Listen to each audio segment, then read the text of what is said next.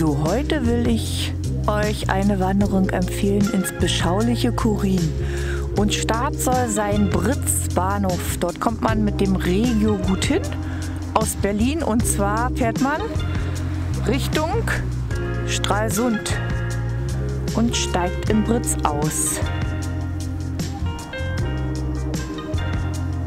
Die Wanderung von Britz ist etwa sechs Kilometer lang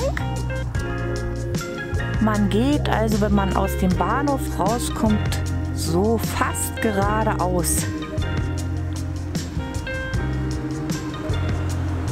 In diese Querstraße rein, an einem verfallenen Gebäude entlang. Und dann immer hier entlang an den Bahnschienen vorbei. So nebenher. Es dauert auch nicht lange, 500 Meter in etwa, dann kommt der Wald. Und dann ist das der reine Waldweg. Ja, dann geht man hier diesen gut ausgebauten Wanderweg entlang. Hier links sind die Bahnschienen. Man kann alternativ auch bis Kurin fahren, dann hat man ca. 3 Kilometer Wanderweg bis zum Kloster oder von Britz sind ca. 6 Kilometer. Ja, und dann geht man einfach immer diesen Weg entlang und schon kommt man in Kurin raus. Ja, hier kommt man dann in Kurin raus, aus dem Wald in den Ort hinein. Und jetzt ist es auch gar nicht mehr weit bis zum Kloster.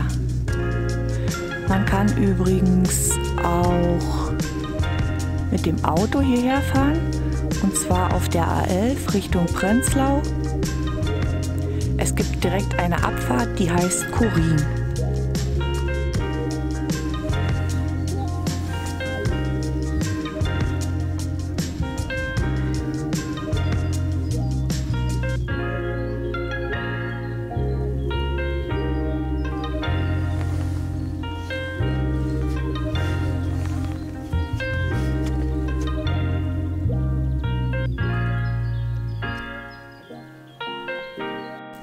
Ja, Kurin ist eine kleine beschauliche Gemeinde im Landkreis Barnim.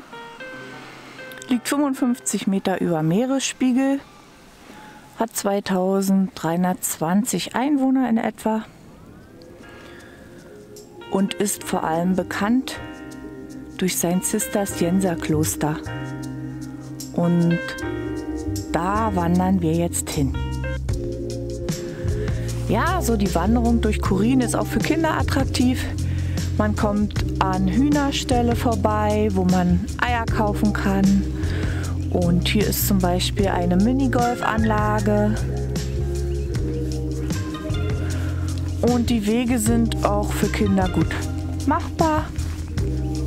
Man muss jetzt nicht großartig klettern oder es sind gut ausgebaute Straßen, die wenig befahren sind oder Wanderwege.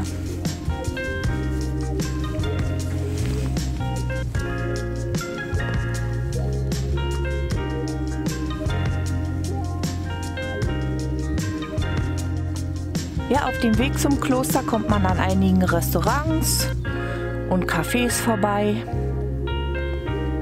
und auch am Amtsee. Der hieß früher Corina See und ist ca. 13 Hektar groß und etwa 6,5 Meter tief, also ganz schön flach.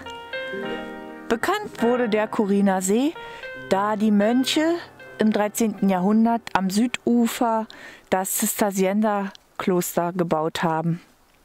Und die Klosterreste zählen heute zu den bedeutendsten Bauwerken der Backsteingotik in Brandenburg.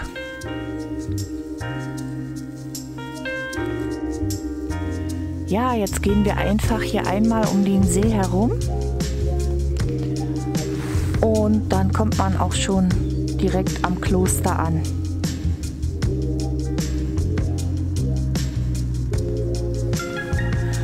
Im Sommer kann man übrigens auch in dem See baden gehen. Es gibt am anderen Ufer, dort an der anderen Seite, einen kleinen Steg mit Badestelle. Also wen es zu warm ist, der kann sich hier auch ein bisschen erfrischen. Durch die Bäume kann man schon die Gemäuer des Klosters erkennen.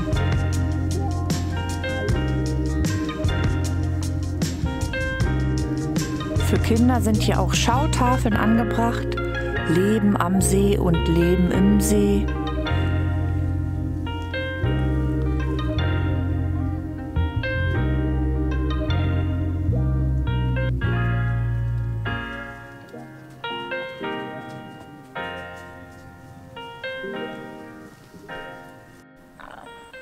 In der Mitte vom See ist eine Insel.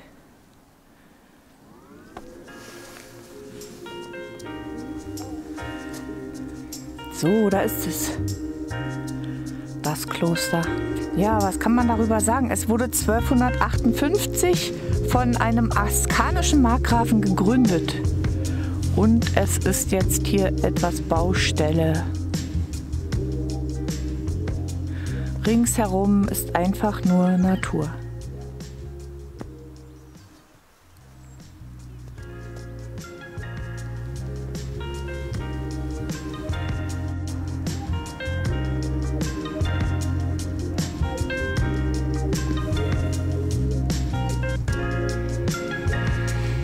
Hier wurde noch ein Denkmal stehen gelassen und dort nisten jetzt Fledermäuse drin.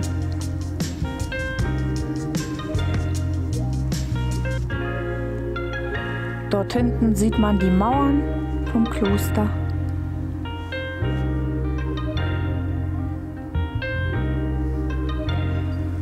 Okay, jetzt gehen wir einfach einmal ringsherum. Hier ist der alte Friedhof.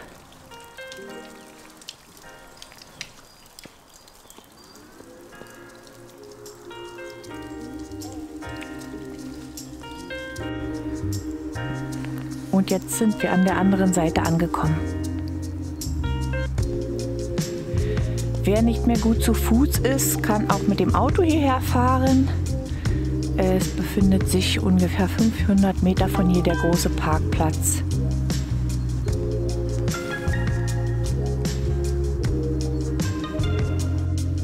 Ringsherum ist hier ein weitläufiger Park. Mit Bänken kann man auch ein Picknick machen. Ja, jetzt das Kloster von der anderen Seite. Im 19. Jahrhundert ist es halt dem Verfall preisgegeben worden. Und danach erfolgte aber die Sicherung der Ruinen und die teilweise Rekonstruktion der Gebäude unter Karl Friedrich Schinkel.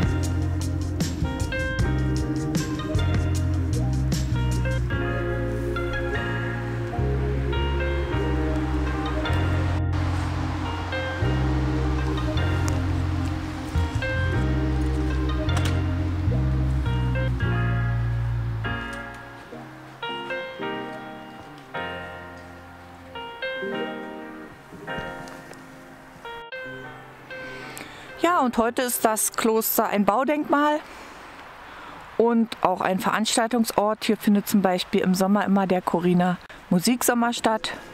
Wie das Ganze von innen aussieht, das könnt ihr euch ja dann selbst anschauen.